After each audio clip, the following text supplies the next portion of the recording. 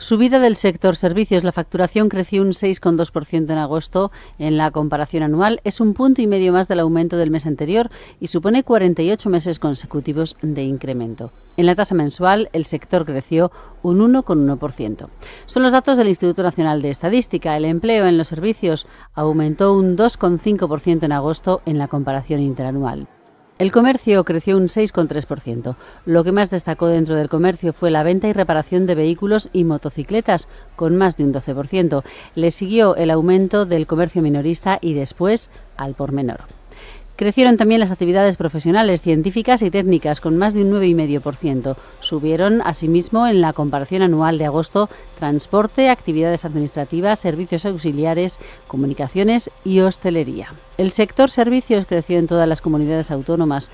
Los mayores incrementos se dieron en Navarra, Castilla-La Mancha y Comunidad Valenciana, donde menos fue en Baleares, Castilla y León y Extremadura.